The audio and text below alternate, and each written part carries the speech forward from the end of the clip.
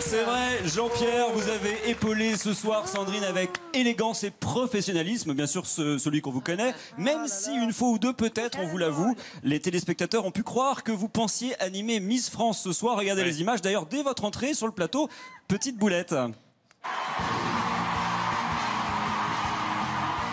Bonsoir Montpellier Elles sont 30 superbes candidates au titre de Miss France. Voulez-vous vous présenter, Miss Île-de-France? Bonsoir, bonsoir tout le monde. Je m'appelle Meggy, j'ai 22 ans, j'habite à- au Blanc-Ménil. Très bien, merci beaucoup mademoiselle.